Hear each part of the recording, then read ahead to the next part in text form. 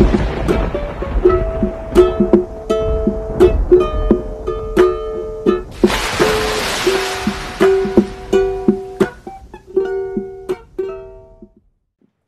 Hey, fight fans, it's Maddie Levine back here for MMA Island. We are the new wave of MMA media, and I have a very special guest today. Uh, she's rising up in the ranks at the UFC. She's a little bit of a newbie, but she's certainly not new to the game. And I'm going to let her introduce herself. Welcome, Kay Hansen. How are you? Doing great. Thank you for having me. I'm super excited.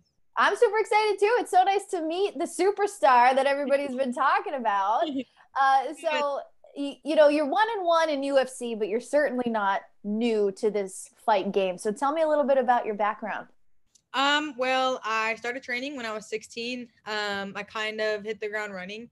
Um, and then I made my pro debut with Invicta at 18. Um, I had almost every one of my pro fights there except for one um, before I got to the UFC.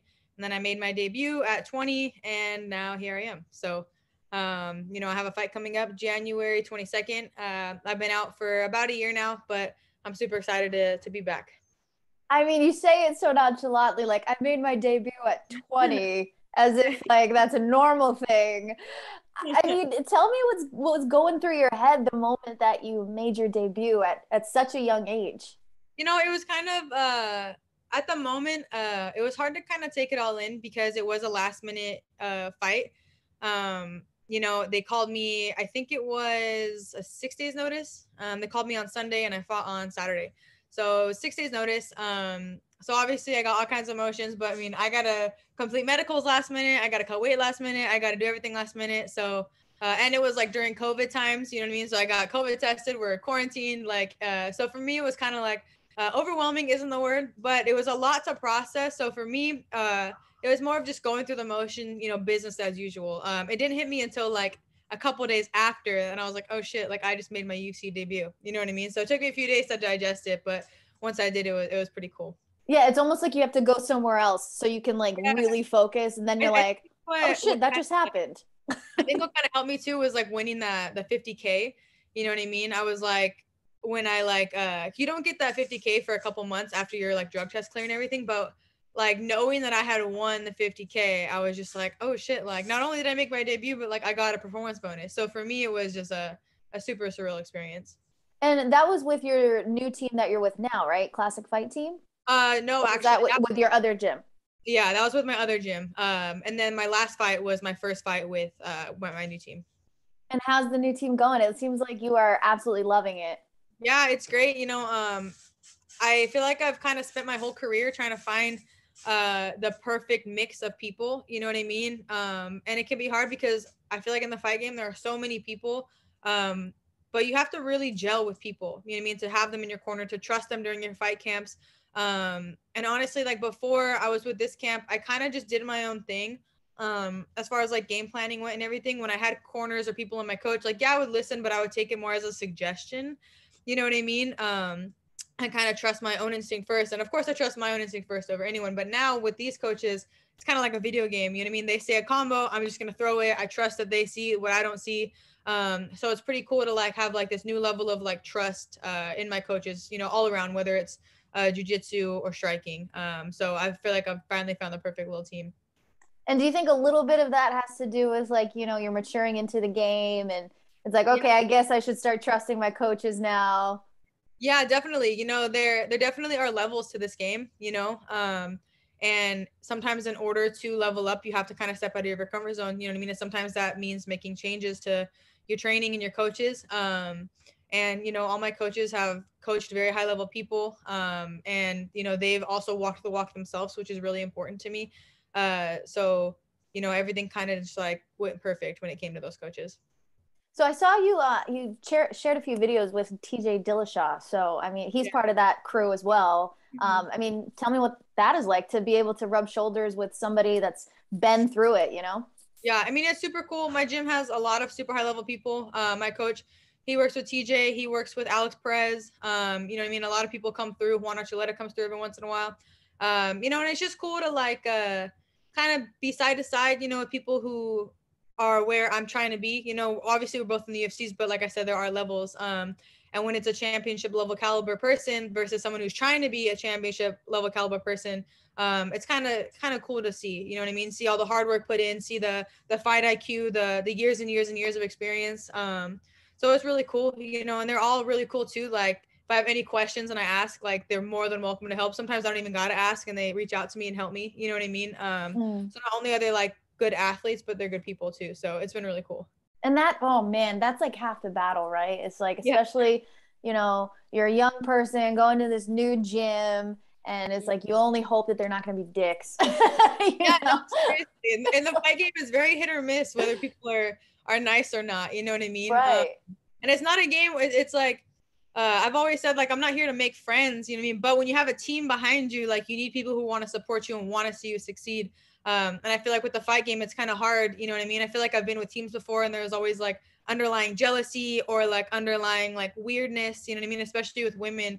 But at, at our gym, it's crazy. Like we have a lot of women and we have a lot of people and like there's not one person that I feel like secretly wants me to fail. You know what I mean? Like there's no weird stuff. So I feel like your training environment is also like really important in that aspect too that i mean that just that must feel like a weight off your shoulders to actually yeah. have like solid sparring partners and yeah. you know um female to female yeah. it's so hard to find a good group of people that you can trust and that you can know that they're going to be good sparring partners do you feel like your game has kind of stepped up a level because you have that nice atmosphere now I mean, definitely, you know, um, trusting your training partners and trusting your environment is really important. Uh, you know, it's kind of cool because all my training partners, like, we know like how to work with each other. You know what I mean? We know how to go hard with each other. We know when to be more technical with each other.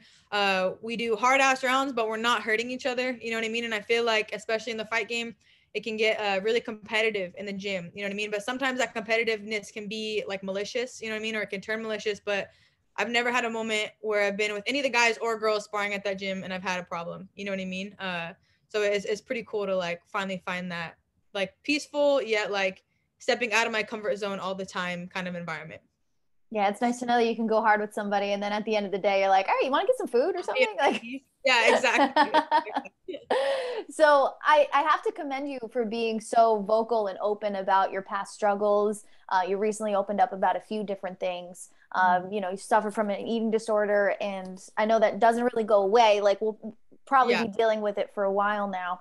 Um, yeah. But talk to me a little bit about how you've been able to get to a better place mentally. Yeah, you know, it's been, I'm not going to lie, like, uh, I, the reason I'm trying to be so like open about talking about it, you know what I mean, is because I know when I was kind of going through it, I didn't really hear anyone talking about it. And maybe if someone else would have been talking about it, I would have been more aware of it. I would have caught myself. Because for me, I literally didn't catch like didn't see anything wrong with what I was doing until my body started completely quitting. You know what I mean? Um, so for me, I'm just trying to be vocal because I know it's like a very common thing. You know what I mean? In in and outside of sports, it's very common. Um, so this last year, it's been really difficult. You know what I mean? If anyone's followed my career, they know ever since I was 18, I have fought every other month. You know what I mean? Like 11 fights in a couple years. Like I don't stop fighting or training ever.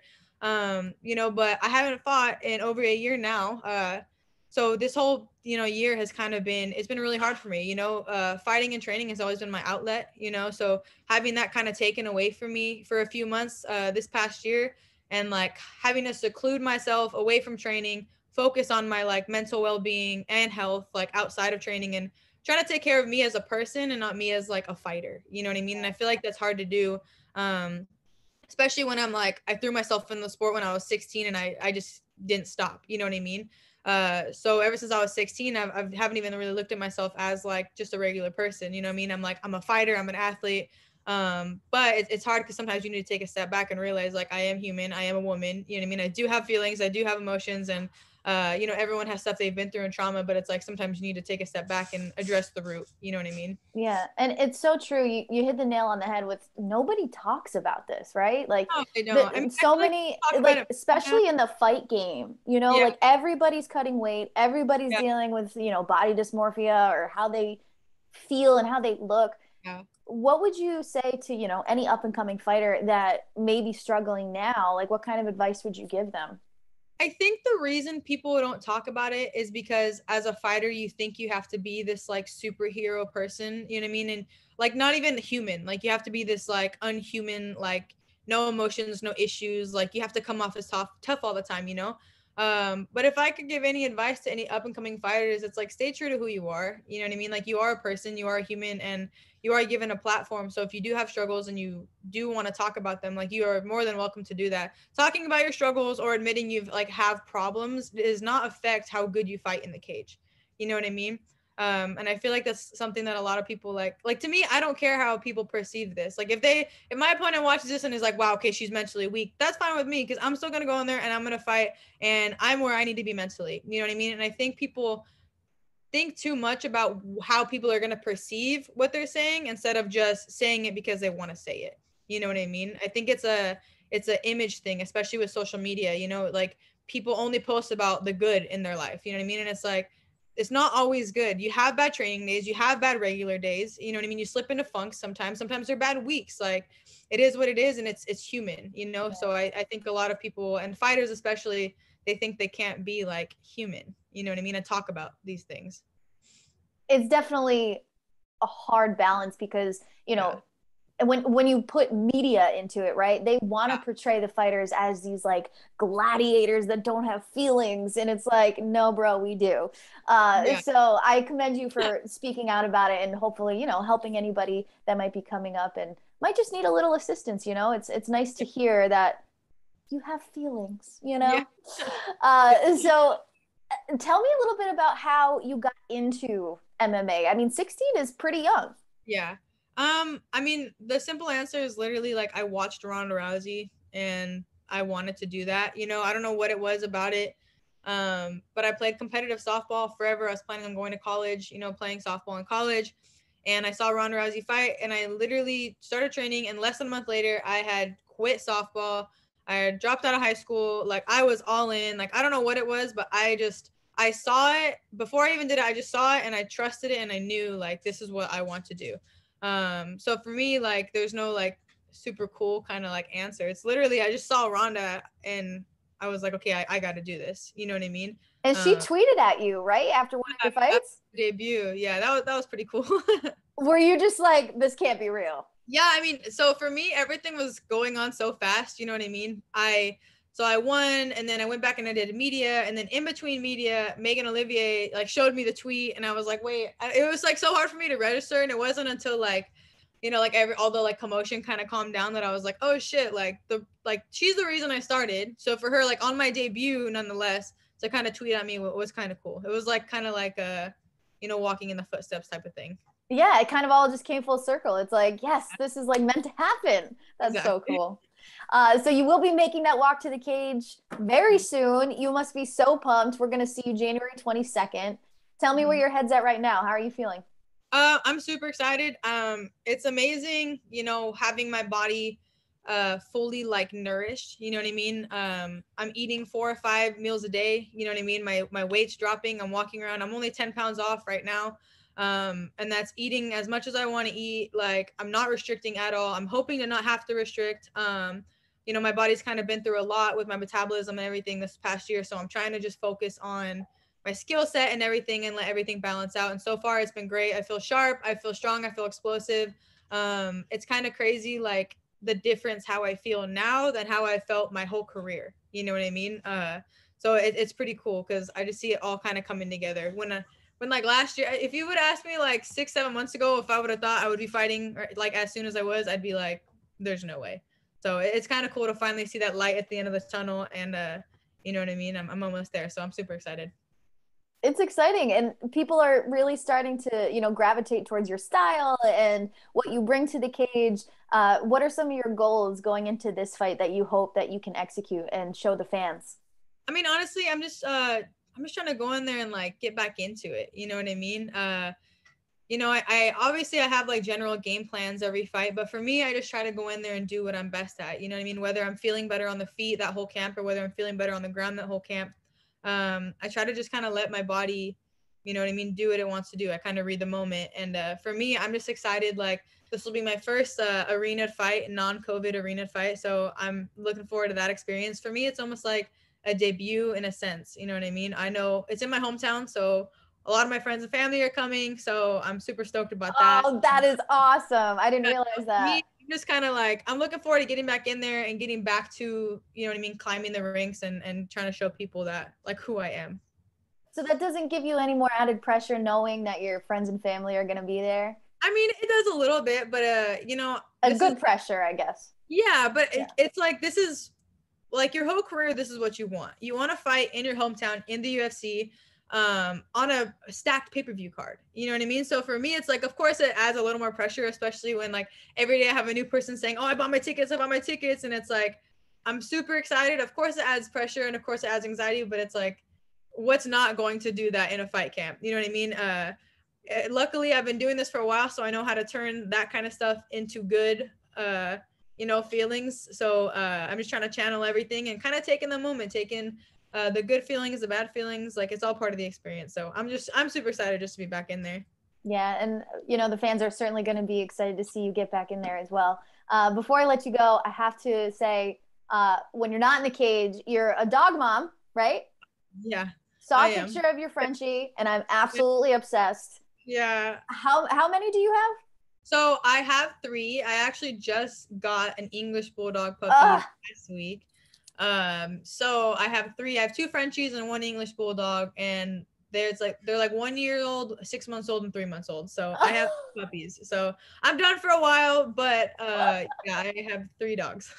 That's awesome. I just I had to say I love French bulldogs. I was like, this girl gets it. She's got a lot of dogs. It's cool. Uh, so before I go, let you go, anything you want to say about your upcoming opponent or what the fans can expect January 22nd? I mean, she's making her debut. Um, you know, I'm coming back off a long layoff, so I mean, we're both gonna be eager. You know what I mean? So it's gonna be an exciting fight. It's gonna be uh, an action-packed fight. So I mean, I think it's a good fight. You should tune in and watch it.